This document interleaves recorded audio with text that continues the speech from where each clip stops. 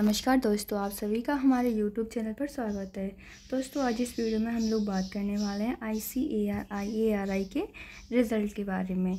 Video शुरू करने से पहले दोस्तों, अगर आप हमारे चैनल पर नए हैं तो किसी प्रकार की job update, vacancy update, result update पाने के लिए आप हमारा चैनल निटीजन ट्विटर सब्सक्राइब करें और हमारे साथ जुड़ जाएँ, ताकि आने वाली कोई भी new vacancy update result update आप तक पहुँच सके। तो आइए हम अपना वीडियो शुरू करते हैं।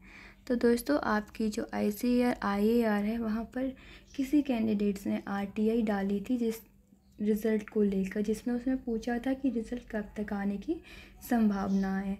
तो दोस्तों, उसमें आरटीआई की रिप्लाई में आप बहुत ही अच्छी खबर आई आप सभी के लिए, और वो ये आई कि आपका जो रिज़ल्ट है, वो मई के लास्ट तक जारी कर दिया जाएगा।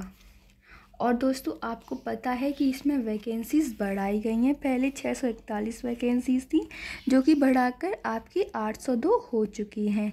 तो दोस्तों, अब इसके बाद आपकी जो कट ऑफ़ है, वो भी कम जाने की पूरी पूरी संभावना है कि आपकी कट ऑफ़ जो है, वो कम जाएगी।